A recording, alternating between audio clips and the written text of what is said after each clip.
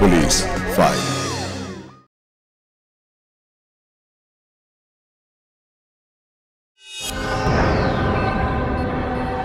শৈশব কৈশোরে আমাদের জীবন কাটে একটা অদৃশ্য গণ্ডির মধ্যে। বাবা, মা, শিক্ষক, গুরুজনদের সতর্কবাণী থাকে যে সেই গণ্ডি পেরোলেই সমূহ বিপদ। আর আমরাও জীবনের সেই সময়টা স্কুল, বাড়ি, খেলাধুলো বন্ধু বান্ধব বড়দের স্নেহ ভালোবাসার মধ্যে মশগুল থেকে কাটাতে থাকি সেই সুরক্ষিত গণ্ডির মধ্যে নিশ্চিন্ত জীবন। কিন্তু হঠাৎ যদি কিছু দুষ্কৃতি টেনে নিয়ে যায়, সেই গণ্ডির বাইরে কেড়ে নেয়। জীবনের এমন কিছু যাতে বদলে যায় জীবনের মানে? মনে হয় যেন ফুরিয়ে গেছে বাঁচার রসদ।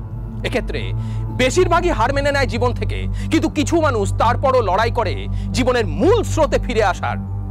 আইনের দরজায় গিয়ে দাঁড়ায় জীবনকে ধ্বংসের মুখে ঠেলে দেওয়ার সেই দুষ্কৃতীদের সাজা দেওয়ার জন্য আজকের পুলিশ ফালসিডে পর্বে আমরা আপনাদেরকে দেখাবো মালদার হরিশ্চন্দ্রপুর থানা এলাকার এক যুবতীর সেই রকম লড়াইয়েরই এক সত্য ঘটনা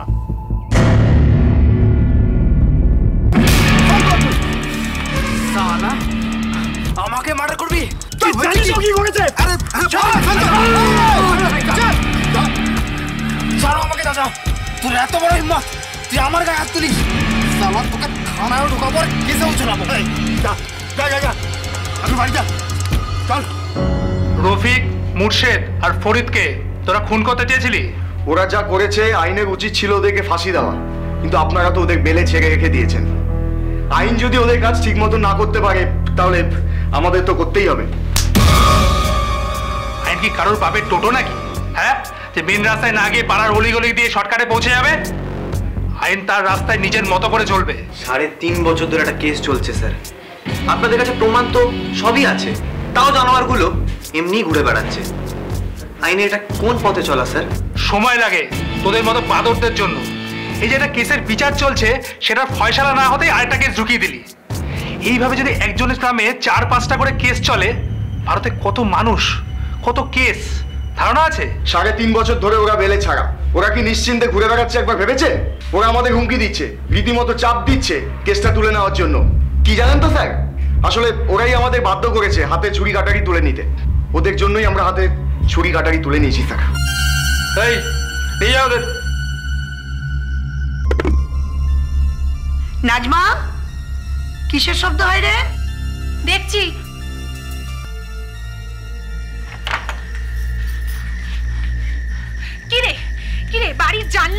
লুকিয়ে লুকিয়ে ইট মারছিস কেন?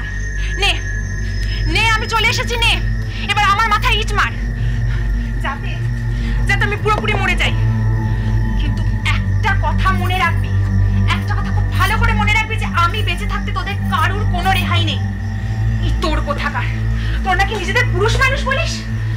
সেদিন আমি একা ছিলাম। আমি একা ছিলাম, আমার উপর অনেক ক্ষমতা দেখিয়েছিস। আজকে আমি একা আছি। আজকে কোথায়? সামনে আয়, দেখি কত ক্ষমতা, দেখি। আরও কত তেজ বাকি? এখন লড়বি আমাদের সাথে? চালটা দেখলি? তোর দু দাদাকে কেমন জেলে ঢোকালাম? কেস দিয়েছি যে আমাদের মার্ডার করতে চেয়েছিল, সেই কেস। আর একটা কথা মাথায় রাখিস, যে সেই কেসের জন্য কিন্তু তোদের সারাটা জীবন জেলের হবে। তার চল বদলা বদলি করি। তুই আমাদের কেসটা তুলে নে। আর আমরাও তোর দু দাদার কেস তুলে নিচ্ছি। আমার দাদারা কোনো অপরাধ করেনি। কোর্ট ওদের ঠিক ছেড়ে দেবে। তোরা নিজেদের কথাটা ভাব। আচ্ছা সাড়ে তিন বছর তো হয়ে গেল। কি করেছে আইন আমাদের? তাহলে তোরা এত ভয় পাচ্ছিস কেন? আমাকে ধমকাচ্ছিস হাসাচ্ছিস কেন? তোদের কি যায় আসে? আমি কেস তুলি কি না তুলি? কি যায় আসে? যায় আসে। কারণ তোরা জানিস যে কোর্ট তোদের অপরাধের শাস্তি। ঠিক দেবে। নাজমা ধৈর্যের পরীক্ষাটা অন্তত আর নিস না। নাহলে এরপরে কিন্তু তোকে জানে মেরে দেব। আর তারপর যদি ফাঁসিতে ঝুলতে হয় ঝুলবো? তাহলে আমাকে একাই মার্ডার করবি? তোর দলবল কোথায় হ্যাঁ? চিন্তা করিস না। আছি। তোর ভাগ্যে না আল্লাহ তিন পুরুষ লিখে পাঠিয়েছে। যা করব আমরা এই তিনজন মিলেই করব।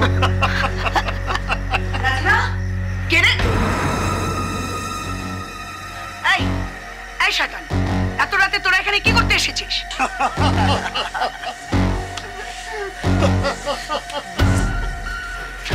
কিছু ভেবেচিন্তে আসিনি গো কি করব?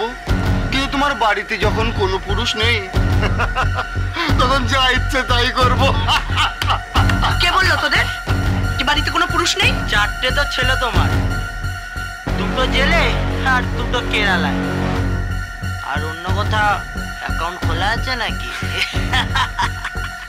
এই এই এই নাচবারটা ধরলি না তো? ধ্যাৎ সালা নাচবার তো মেয়ে। সত্যি বাপ হয়ে সন্তানের জেন্ডারটাও চিনতে পারলি না। ধিক্কার। এই, এই কে ওই বাচ্চার বাপ রে হ্যাঁ? কে বাচ্চার বাপ? আমি তুই এই বাচ্চার বাপ। চুপ বে। ওর মুখের সাথে আমার মিল আছে নাকি? ওর সাথে আছে ভালো মিল। আরে ঠিক ঠিক একদম ঠিক। এসব একদম ভালো ওই বাচ্চার সাথে আমার মুখে কোনো মিল নেই। মিল আছে আছে খুব মিল আছে। একদম। এই চুপ। ওই বাচ্চার মুখের সাথে তো তোর আর ওর মুখের মিল আছে।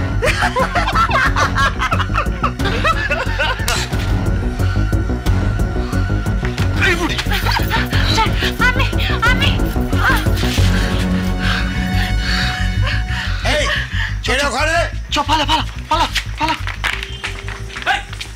এই সফি। সফি এদিকে আয়। ওই রফিকরা এসছিল ওই নাজমাদের শাসাতে দেখ তো। তাই নাকি? হ্যাঁ। সালাদের খুব বার পড়েছে তো। দেখ দেখ দেখ দেখি। দেখে। নিয়ে গেল।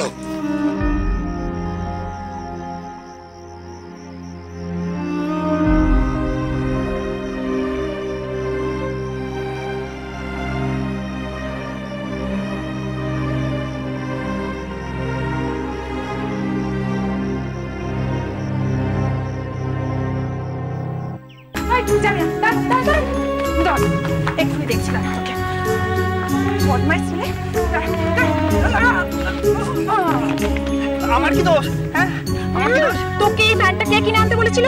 তোকে কে আটা নিয়ে আমার ফ্যানের সামনে আসতে বলেছিল? বাড়িতে আটাও রোজই মাখা হয়। দোষটা তোর ফ্যানের আটার নয় বুঝলি? কত টাকার একটা তোর হ্যাঁ? দশ টাকার আমার এই ফ্যানটার দাম তিনশো টাকা। এবার বল আমার তিনশো টাকার মাল তোর দশ টাকার মালের পেছনে লাগতে যাবে? আর তোর দশ টাকার মাল আমার তিনশো টাকার মালের পেছনে লাগতে আসবে হ্যাঁ? কোনটা কোনটা? বাহ! খুব ভালো বলেছিস রে খুব ভালো বলেছিস। আমরা গরিব বলে তো আমাদের কোনো মান ইজ্জত নেই। আমরা তো বড় লোকদের পিছনে লাগতে যাই আল্লাহর কাছে গরিব বড় লোক বলে কিছু নেই রে বাপ। সব সমান। দোষ বড় লোকরাও করতে পারে দোষ গরিবরাও করতে পারে। আল্লাহ ঠিক তার বিচার করে। একদম তাই না? ঠিক চল আজ তোর বিচার। চল আরে, আরে, আরে, আরে, আরে, দাঁড়া, দাঁড়া, কোথায় নিয়ে যাচ্ছিস ওকে? ছাড়, ছাড় বলছি। এই যা, তুই মুখ ধো। সব পাড়ার ব্যাপার বাচ্চা মেয়ে সব ব্যাপারে না করা যা ঘর যা। এই চল। চল চল চল আজও পাবলিক তো অদ্ভুত দাদা এই দাদা দাদা শোন এই দাদা দাদা দাদা বলছি কি আমার দাদাকে ওরা কোথায় যেন নিয়ে গেল বলছে কি বিচার না কি যেন একটা হবে আরে চ চ তাড়াতাড়ি যা দেখ আমার চট কাপড় না লাগায়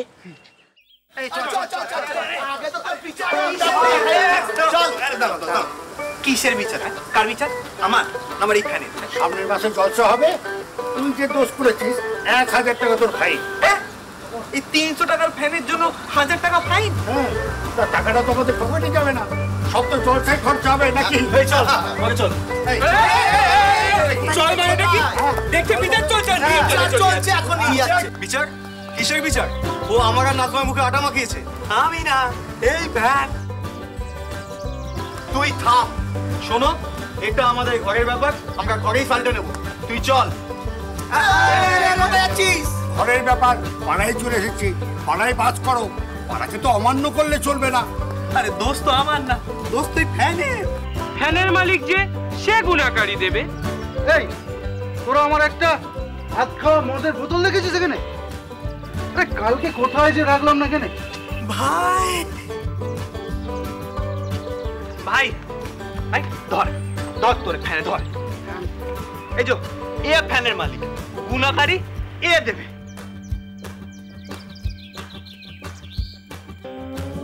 কিন্তু ভাই তোর তিনশো টাকা আমি তো কাল ভেঙে ফেলেছি রে।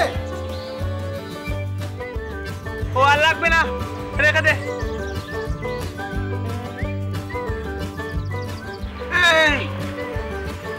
দে এবার হাজার টাকা দি। হাজার টাকা? একে আমি মালের বোতল খুঁজে পাচ্ছি না। যদি পেতাম না, ওই মালের বোতল দিয়ে তোর মাথায় মারতাম। মুখ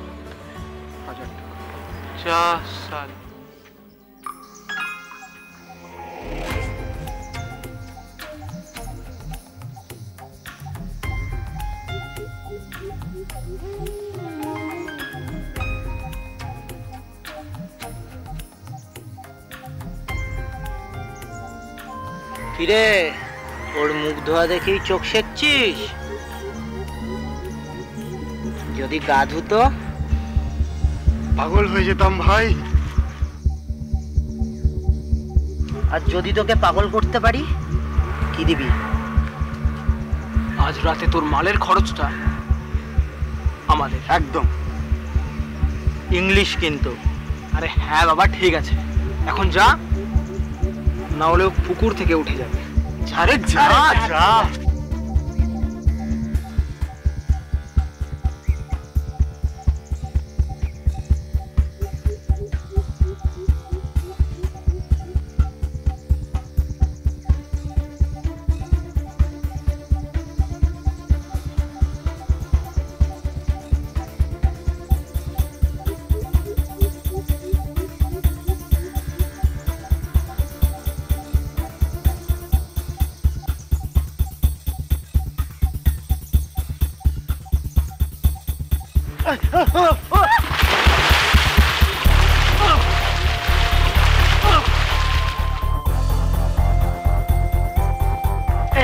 নাজমা তোর লাগেনি তো? আমি তো ইচ্ছা করে করিনি, পাটা স্লিপ খেয়ে গেছিল। ওই, দাঁড়া না, ওই। আরে নাজমা, লাগেনি তো? এই তোর ঘাড়ে এখানে কি লেগে আছে রে? এই এই।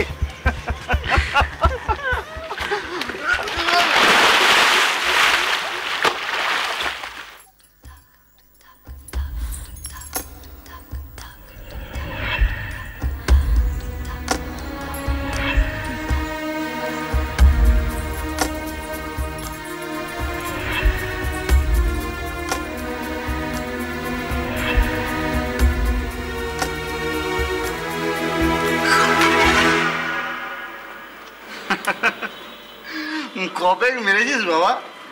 এর মধ্যে নেশায় বুন হয়ে গেলি? আমার না খুব অস্থির অস্থির লাগছে। কেন ভাই? কিসের এত অস্থিরতা? নাজমাকে ভেজা গায়ে দেখার পর থেকে আমি আর থাকতে পারছি না। আমার না ওকে এক্ষুনি এখানে লাগবে। তো এনে দেবো? প্লিজ এনে দে। তুই সব পারিস। চুপবে সালা শক্ত কম না। তা কি বলব আমি? ওর বাড়িতে গিয়ে ওর আম্মি আর দাদাদেরকে গিয়ে বলি, তোমাদের মেয়েকে একটু দাও না। আমাদের রফিকের মনটা খুব অস্থির অস্থির করছে। ওর অস্থিরতাটা মিটে গেলে আবার এনে দেব। সালা তোরা না বন্ধু বলার অযোগ্য। ব্যাপারটাকে নিয়ে মজা করছিস? আমার অবস্থা যদি বুঝতেই তাহলে আর মজা করতি না। কি? তোর অবস্থাটা কি? বুঝিয়ে বল আমাদের। তাহলে না হয় ভেবে দেখতে পারি। কিছু করা যায় কি না আমার না কণ্ঠার কাছে কেমন একটা একে চুপ করতে বল। ও আর কিচ্ছু বলবে না। তুই যেন কি বলছিলি? কণ্ঠার কাছে কণ্ঠার কাছে কণ্ঠার কাছে কণ্ঠার কাছে। ভাই আমার না হৃৎপিণ্ডটা ছাতি চিরে বেরিয়ে আসবে। নাজমাকে না পেলে আমার শরীরটা যেন বাস্ট করবে। হ্যাঁ? বাস করবে? ভাই আমি না ঠিক বোঝাতে পারছি না। তুই একটা কাজ কর। তুই মুর্শেদকে নাজমা ভাব। এই মানেটা কি হ্যাঁ? আরে এখন তোর ভিতরে যেটা চলছে, সেটা তুই ওর সাথে কর। আমি বুঝে যাব, আর তোর জন্য কিছু না কিছু বন্দোবস্ত করে দেব। এই এই ফাঁসাই মারতে বারণ কর কিন্তু। এই রফিক, দেখ, ইয়ার কি না? রফিক মারতে। রফিক দেখ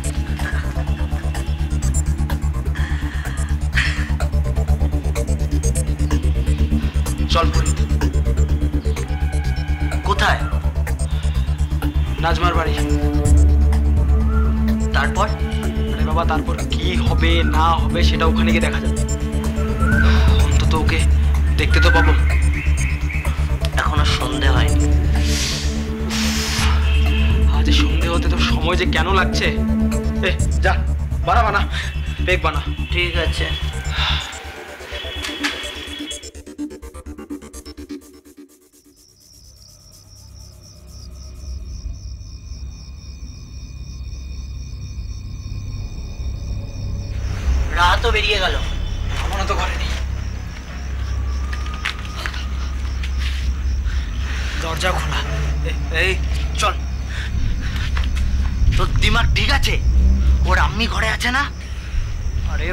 বাবা তুই সামলাবি। বাকিটা আমি দেখে নেব। এ ভাই, তুই পাগল হয়ে গেছিস নাকি? পাড়ার লোক যদি একবার জানতে পারে না, আমাদের দুজনকে না এখানে খতম করে দেবে। কিচ্ছু হবে না।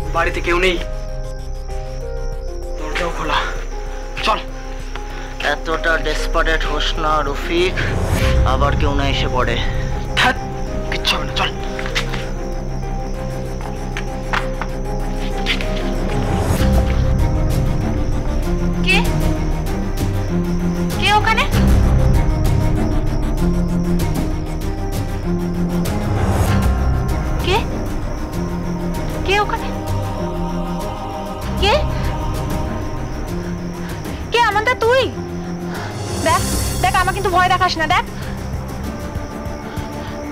কে?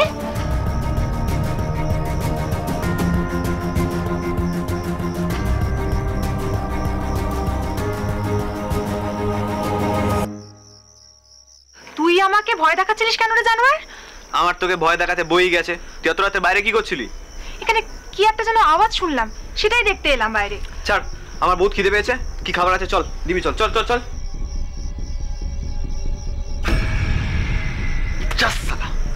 আজকে লাকটাই খারাপ। হাতের নাগালে এসেও ফুসকে গেল।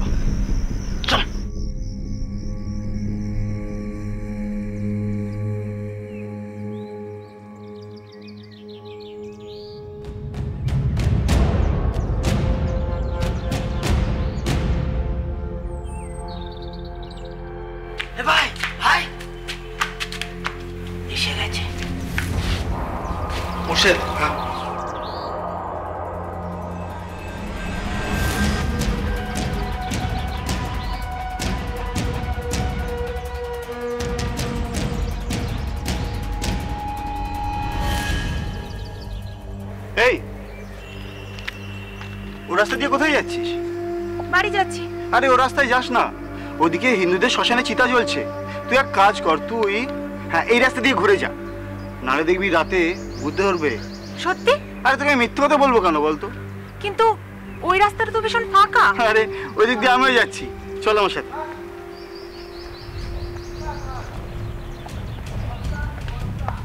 এই নাজমা জানিস তো সেদিন না ফরিদ তোকে ইচ্ছা করে পুকুরের জলে ঠেলে ফেলে দিয়েছিল রে। সেটা আমারও মনে হয়েছে। কিন্তু তোরাও কিছু কম যাস না। সুযোগ বুঝেই গায়ে হাত দেওয়ার চেষ্টা করছি।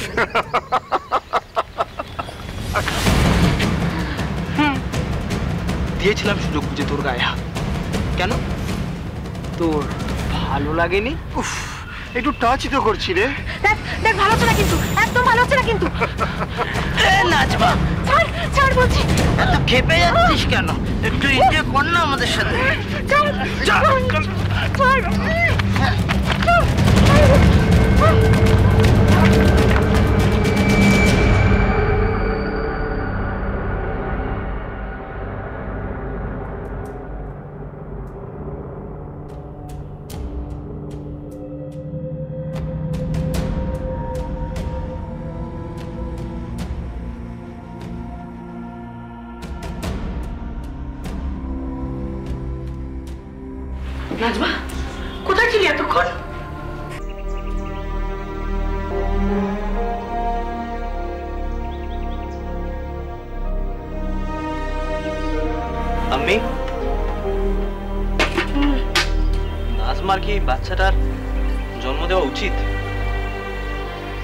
এই কথা।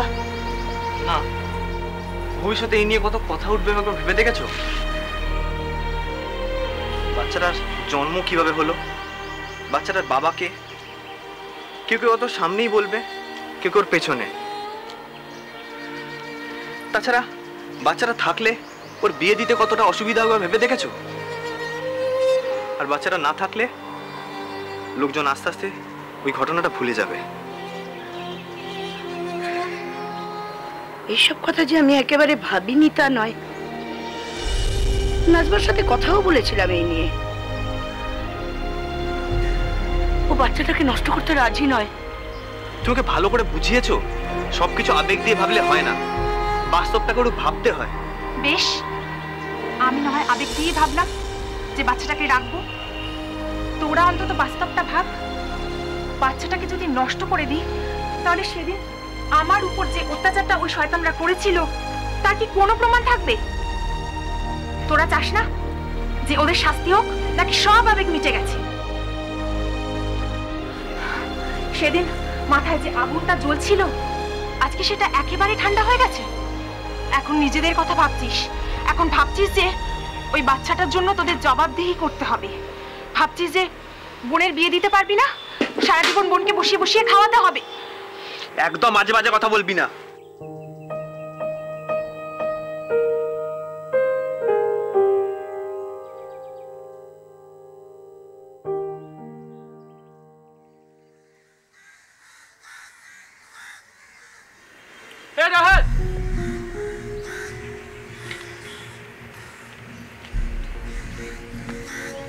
শুনেছিস তো? রফিকরা বেলে ছাড়া পেয়েছে। না এই তোর মুখেই শুনলাম। সফি বলল তোদের বাড়ির দিকে নাকি ওদেরকে যেতে দেখেছে। শোন ধুমকি হুমকি এখন অনেক কিছু দেবে কেসটাকে তুলে নেবার জন্য। কেয়ার করবি না। আমরা আছি। আর বাড়িতে কে আছে এখন? আমি আর নাজমা। তোর আমি তো বাড়িতে নাই। না সে তো আলমের বাড়িতে গেছে। রফিক এরপর যদি জেলে যেতে হয় আমি আর বাঁচবো না।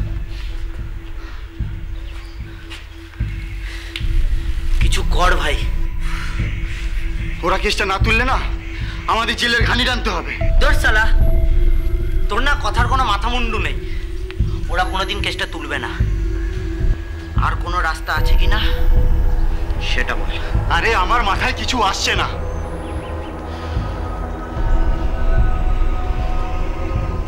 তোর মাথায় কি কিছু আসছে। দেখ ভাই পাড়ার লোকেরা যেভাবে খেপে আছে না ওরা কেসটা কিন্তু সহজে তুলবে না।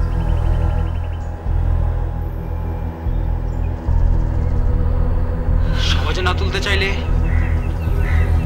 কঠিন রাস্তায় ধরতে হবে।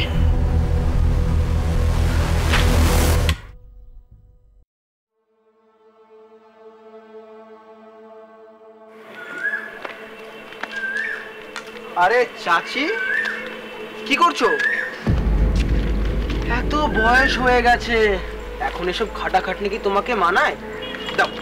আরে বাবা, আমাকে দাও।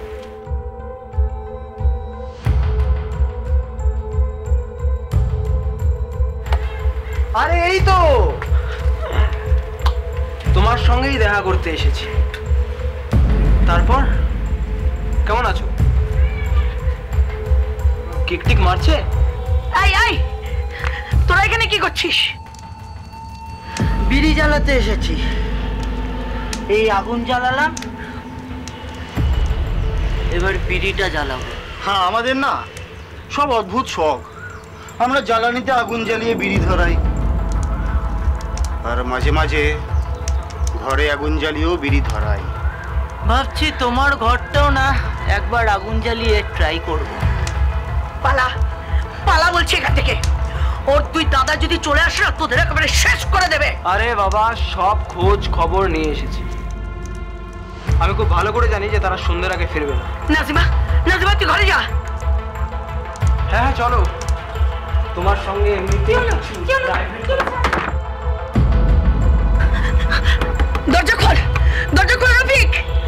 রফিক দরজা খোল বলছি। কি হলো? কি হলো? দরজা বন্ধ করলে কেন? খোলো বলছি। নাজিমা নাজিমা! কি হলো? ভয় লাগছে? আরে ভয় লাগাটাই তো জরুরি। কারণ সব দিন তো আর সমান যাবে না। রফিক দরজা খোল! আজ ভালোভাবে বুঝিয়ে সুঝিয়ে যাচ্ছি। কাল কিন্তু আর বোঝাবো না। ডাইরেক্ট সর্বনাশ করে রফিক দরজা খোল!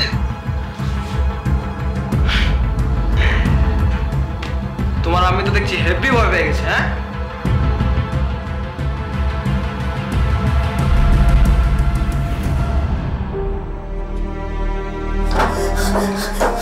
নাজিমা!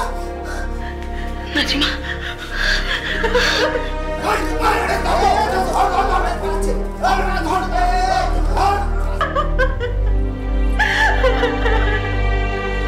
তুলে নেবার জন্য রফিকদের শাসানি, ধমকানি চলতেই থাকে, কিন্তু একবারের জন্য নাজমা ভয় পেয়ে পিছুপা হয় না। এরই মধ্যে সে এক কন্যা সন্তানের জন্ম দেয়। দেখতে দেখতে কেটে যায় প্রায় সাড়ে তিন বছর। আমাদের সারা জীবনটাই কি? এই এই এই এই! সেদিন তোর বোন আমাদের আদরের চাপটা সহ্য করতে পারেনি। অজ্ঞান হয়ে গিয়েছিল। আর আজকে না তোর বোনকে খুব মনে পড়ছে। সেদিনকার মন ভরেনি তো? এক কাজ কর। তুই তোর বোনকে পাঠা। যা টাকা পয়সা লাগবে সব আমি দিয়ে দেবো। প্লিজ পাঠা ঠিক আছে? আমরা আমাদের মদের থেকেই আছি। তোরা ওখানেই থাক। যাস না কোথাও।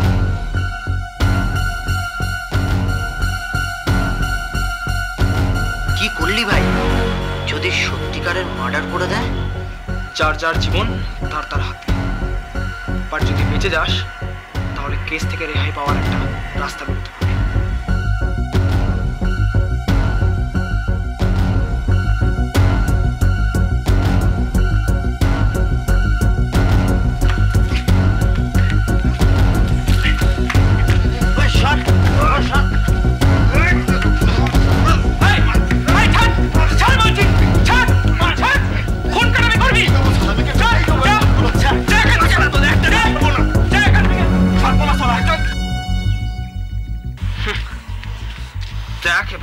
দু ভাইকে কেসে চলে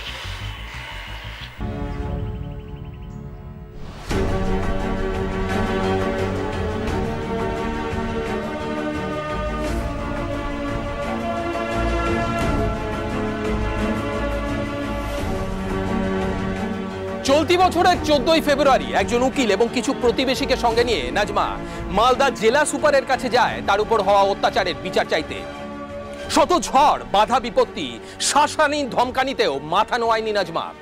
বিচার পেতে নিজের কোলের সন্তানকে নিয়ে আইনের দরজায় কড়া নেড়ে চলেছে দীর্ঘ সাড়ে তিন বছর। তার এই লড়াইকে কুর্নিশ জানাই।